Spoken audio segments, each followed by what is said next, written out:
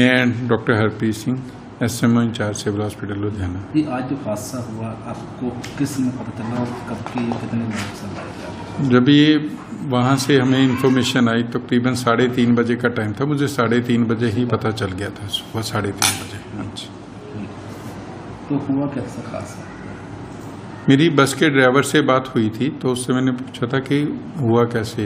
हो गया तो वो उसके अकॉर्डिंगली जो था, बस का अगला टायर पंचर हो गया था एंड वो टायर चेंज कर रहा था। जब टायर चेंज करके उसने पीछे उसमें डिग्गी में रखने गया तो उसको पता नहीं चला कि कब ट्रक आया।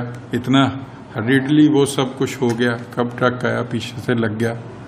वो पता नहीं चला उनको उसके सर, कितने से मरीज़ आपके पास लाए गए सर? हमारे पास टोटल 35 जो मरीज़ थे वहाँ से लाए गए थे। एक जो था उनमें से ब्रॉड डेथ था उसका नाम ही पता चला है सुरेश।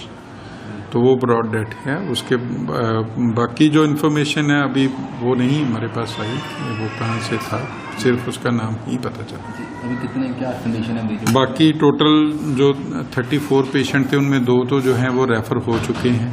एक को क्रश इंजरी थी और दूसरा उसका बेटा था, उसको भी सस्पेक्टेड फीमर फ्रैक्चर था एंड वो दोनों जो हैं चंडीगढ़ बत्तीस सेक्टर में रेफर हो गए हैं और बस का ड्राइवर और कंडक्टर जो है, दविंदर सिंह जो बस का ड्राइवर है he is suffering from spinal injury and जो कंडक्टर है, उसके लेटरल टिबियल कुंडाइल का जो है फ्रैक्चर है।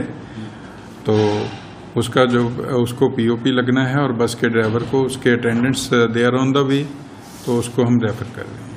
तो बाकी जो मरीज़ थे उनको से छुट्टी दे दी गई हाँ बाकी दो जिनको क्लेविकल फ्रैक्चर था तो उनके स्लिंग डाल के उनको छुट्टी कर दी बाकी जिनको माइनर इंजरी थी उनको फ़र्स्ट एड दे के सो दे वेंटेड सोन क्योंकि जम्मू जा रही थी बस तो जम्मू के थे सभी यात्री अकॉर्डिंगली तो वो फिर वो सारे ठीक होने के कारण चले गए।